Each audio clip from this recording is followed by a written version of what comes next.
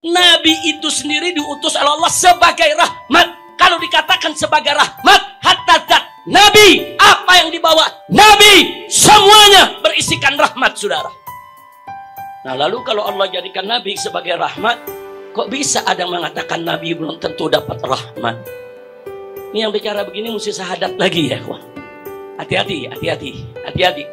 Kadang-kadang orang kalau kepintaran jadi keblinger ya. Nah makanya, saudara, penting. Di samping kita tablik akbar, di samping kita buka kitab, di samping kita ngaji, di ulama salaf pernah mengatakan, saudara di antaranya Ibn Uyainah radhiyallahu taala anhu, beliau pernah mengingatkan bahwa inda dzikris salihin tanzilur rahmah. Manakala kita mengingat atau mengenang atau bercerita tentang orang-orang soleh, maka itu menjadi penyebab turunnya rahmat.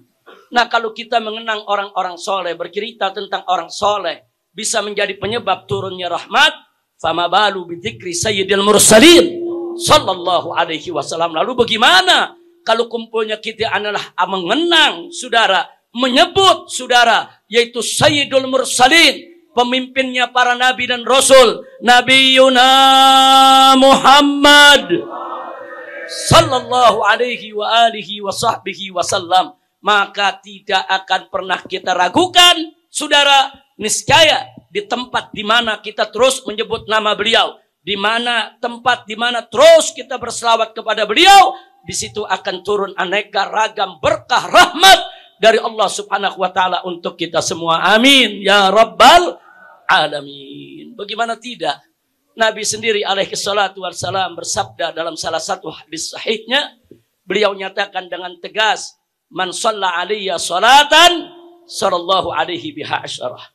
Jadi barang siapa yang berselawat kepadaku dengan satu kali selawat, Allah akan limpahkan selawat untuknya dengan sepuluh kali.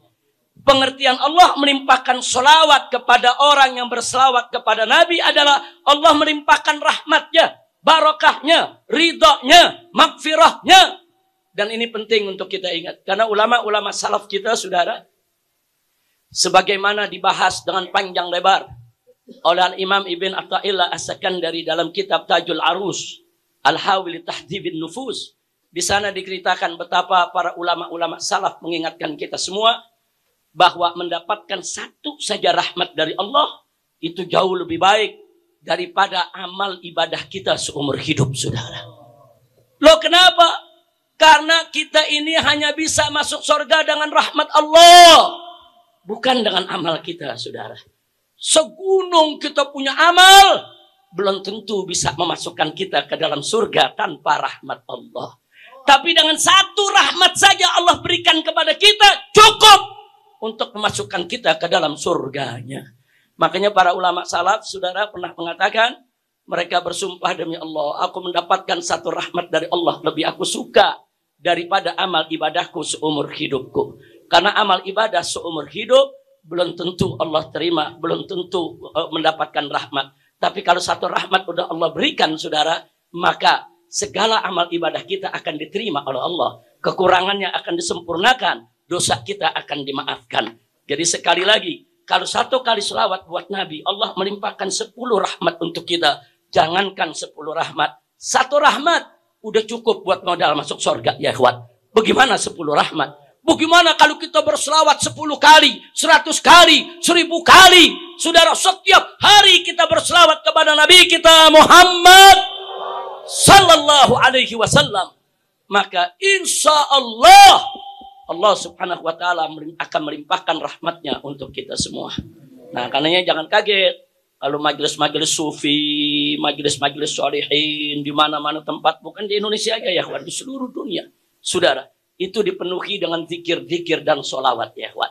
Di samping ada majelis ilmu, di samping baca kitab, di samping ada nasihat, mereka nggak lupa. Mereka ajak umat untuk banyak-banyak baca solawat, berzikir, baca wirid. Kenapa? Karena semua itu bisa mengetuk pintu rahmat Allah subhanahu wa ta'ala. Karena sebagaimana Nabi sampaikan kepada kita, saudara, tidak ada yang bisa masuk surga kecuali dengan rahmat Allah, saudara. Sampai tatkala Sayyidatuna Aisyah radhiyallahu taala anha bertanya, "Wa anta ya Rasulullah?" Lalu bagaimana dengan Anda ya Rasulullah? Apakah masuk surga juga dengan rahmat Allah? Nabi mengatakan, "Ya, nggak ada yang bisa masuk surga kecuali dengan rahmat Allah." Nah, cuma hati-hati. Ada yang mensalah tafsirkan hadis ini.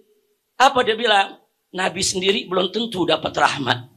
Astagfirullahaladzim. Ini tafsirnya ngawur ini ya. Ini bukan pakai tafsir jalalain ini. Tafsir jalan lain dia pakai ya. Na'udzubillah min. Nabi itu saudara bagaimana nggak dapat rahmat ngawur. Nabinya sendiri rahmat saudara. Allah menyatakan di dalam Al-Quranul Karim. Wa ma arsalnaka illa rahmatan lil alamin. Saudara Allah yang menyatakan, tidaklah kami mengutus engkau wahai Nabi, tidaklah kami mengutus engkau wahai Rasul, wahai Muhammad, illa melainkan rahmatan sebagai rahmat lil alamin untuk semesta alam. Nabi itu sendiri diutus oleh Allah sebagai rahmat. Kalau dikatakan sebagai rahmat, hatta zat Nabi, apa yang dibawa Nabi, semuanya berisikan rahmat, saudara. Nah lalu kalau Allah jadikan Nabi sebagai rahmat, Kok bisa ada yang mengatakan Nabi belum tentu dapat rahmat? Ini yang bicara begini mesti sahadat lagi ya kawan. Hati-hati, hati-hati, hati-hati. Kadang-kadang orang kalau kepintaran jadi keblinger ya. Nah makanya saudara penting. Di samping kita tablik akbar, di samping kita buka kitab, di samping kita ngaji, di samping kita amar ma'ruf nahi munkar. Jangan lupa buka majelis solawat, buka majelis dikir, Buka majelis marhabanan. Supaya hati kita nggak kering ya ikhwan. Insya Allah. Nah terakhir yang ingin saya sampaikan lagi. Saudara ada lagi. Belakangan ini saudara. Orang-orang yang kurang ajar mulutnya saudara. Menyebutkan kalau ibu bapak Nabi masuk neraka. Ibu bapak Nabi orang kafir. Innalillahi wa inna ilaihi raji'un. Alasannya mereka punya dalil. Saudara, ya kalau dalil mereka pahami secara zahir, kalau dalil mereka pahami secara kaku, kalau dalil mereka pahami tanpa melihat dalil yang lain, ya seperti itu, itulah hasil pemahamannya. Nah dalam Islam ini luas. Memahami suatu dalil harus lihat dalil yang lain. Memahami suatu dalil harus lihat konteksnya. Untuk memahami suatu hukum, saudara kita harus secara komprehensif menghimpun dalil-dalil yang ada untuk kita pelajari, kita simak, kita lihat sehingga kita bisa mengambil kesimpulan yang benar.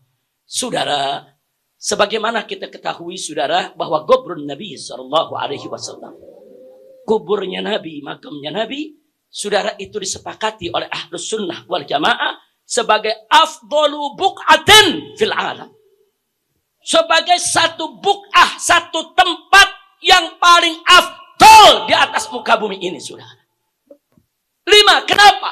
Kenapa? Lidhammihi jasad Nabi sallallahu